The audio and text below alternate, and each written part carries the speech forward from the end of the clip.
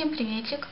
По заявкам подписчиц я сегодня делаю вот такой макияж на мой взгляд, для свадьбы. Еще одна девушка меня просила сделать макияж для свадьбы ее подруги под коралловое платье, и вот что у меня получилось.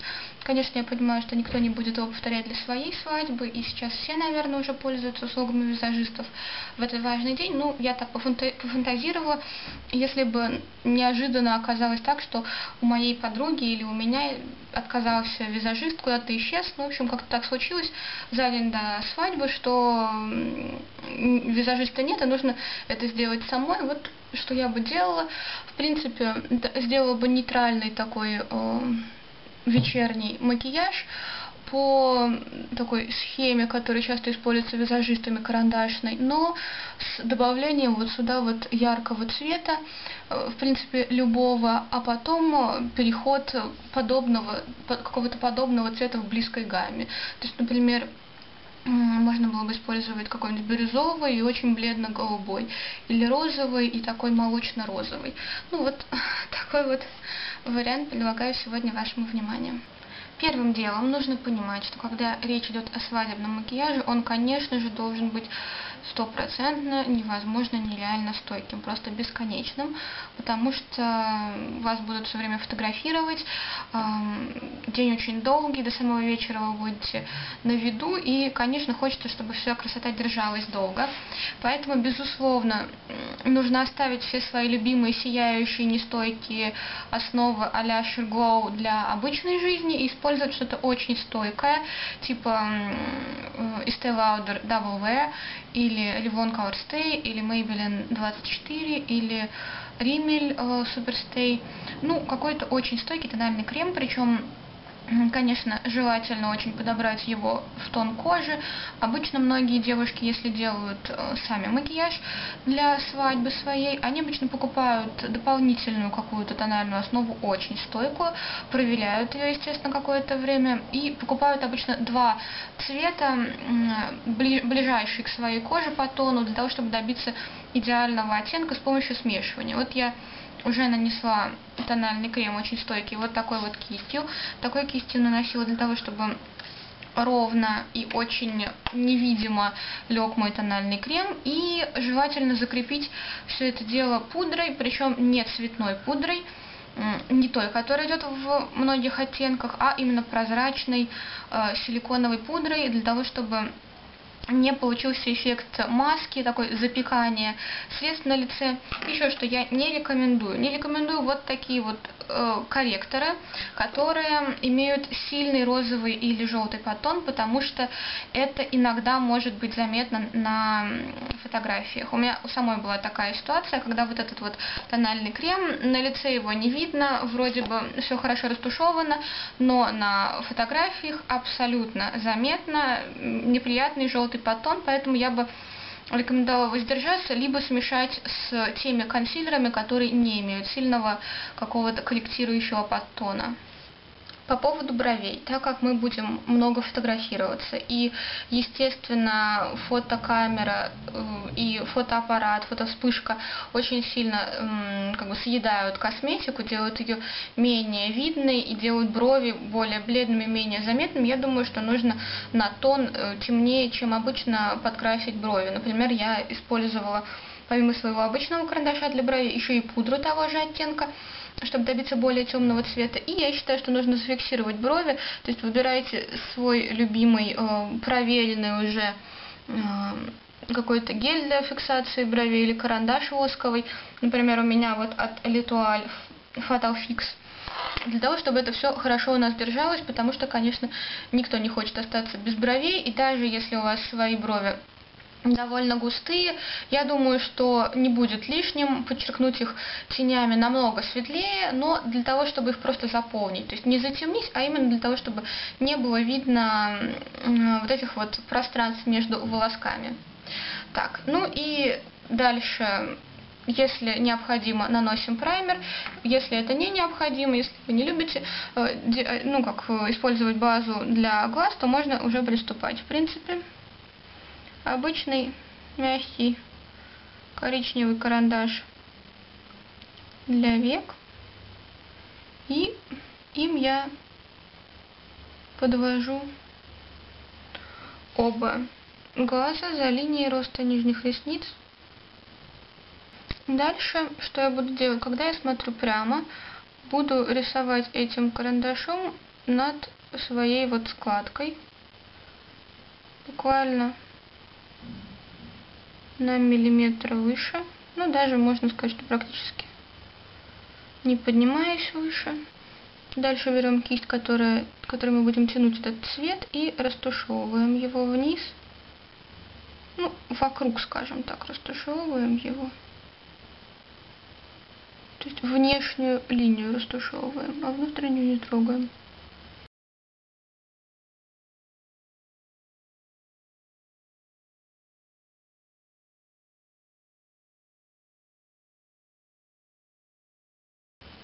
И чуточку растушевываем внутрь, просто продлеваем, но для того, чтобы она потеряла свою интенсивность внутри, дальше цвет не добавляем, просто растушевываем уже имеющийся.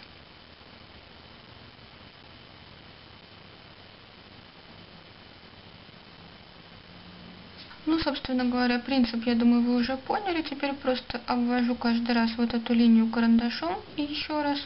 И протягиваю ее снова а, в направлении к виску э, этой же кисточкой.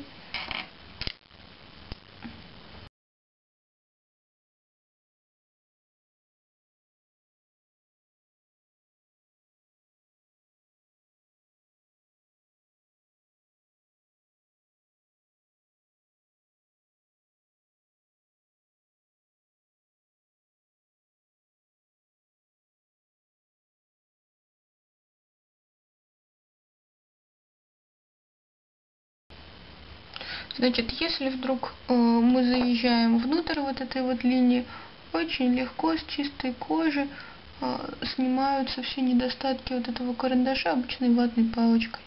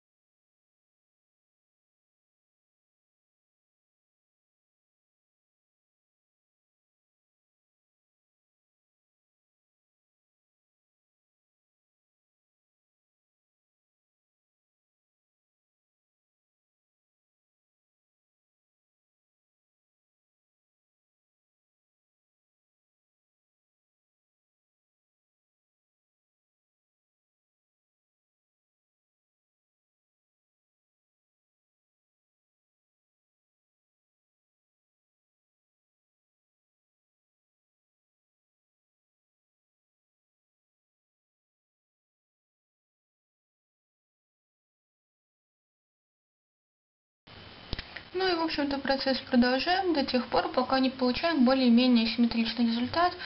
Идеальный вариант в получении максимально симметричного результата сфотографировать и отколлектировать уже смотря на фотографию, потому что на фотографиях и на видео намного виднее асимметрия, чем в зеркало. Ну, собственно, дальше к теням перейдем я беру вот такую вот узкую кисть для теней и очень пигментированные бежевые тени. У меня это Bell Fashion and Matte оттенок 501. Вот так вот выглядит. И набираю бежевый оттенок. Располагаю его под бровью.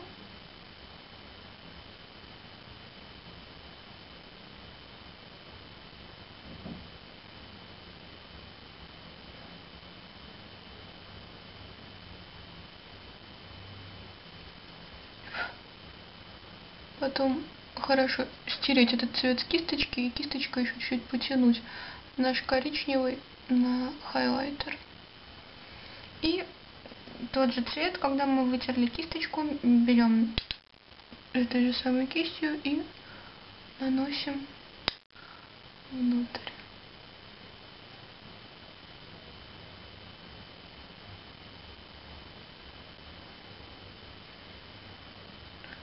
Наиболее интенсивно наношу в внутреннюю часть, а дальше уже тем, что осталось, заполняю, потому что здесь у нас будут еще два цвета. Не хочу, чтобы здесь был очень толстый плотный слой их.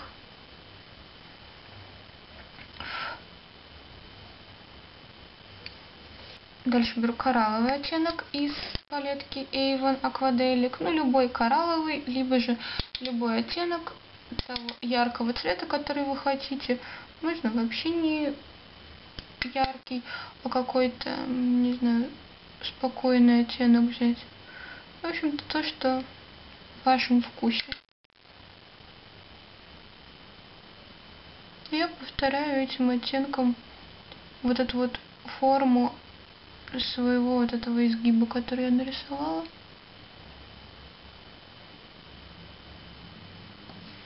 А, далее беру оттенок такой желтый с матовой базой, но небольшим количеством золотых блесток. Ну, такой горчичный оттенок.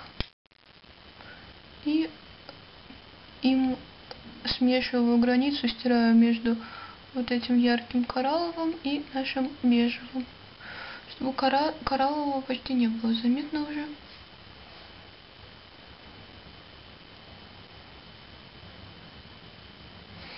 И теперь возьму коричневый оттенок той же самой фактуры, то есть он светло-коричневый, точнее, он э, на матовой базе, но в нем есть блестки. И уже вот эту вот часть, которая у нас как бы символизирует тень, покрываю.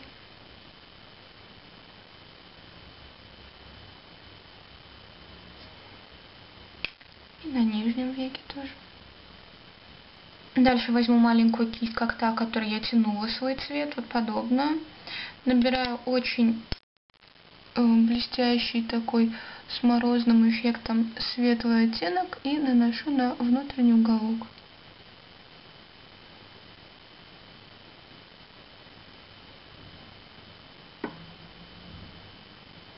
Если вы не любитель подводки и вам не нравится, как она на вас выглядит, конечно, можно следующий шаг пропустить. Но если вы все-таки предпочитаете использовать подводку в макияже, то есть смысл показать, в принципе.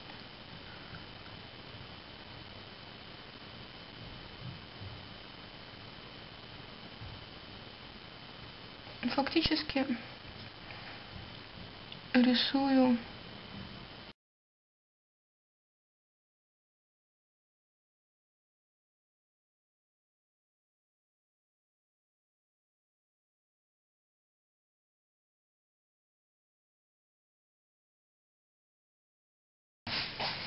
фактически такая вот треугольная стрелочка, а остальное просто прокрашиваю очень тонко линию роста ресниц.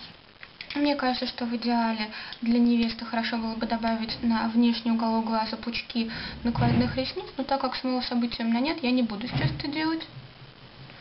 А, губы. Губы тоже, как и щеки, должны быть четкими. И для того, чтобы они не терялись на фото, я их немножко обведу.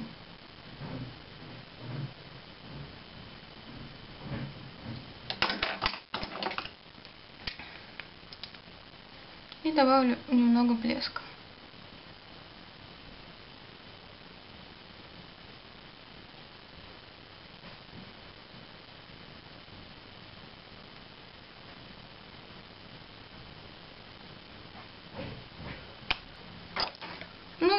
Щеки, соответственно, тоже на 10-20% ярче, чем нам это нужно было бы обычно.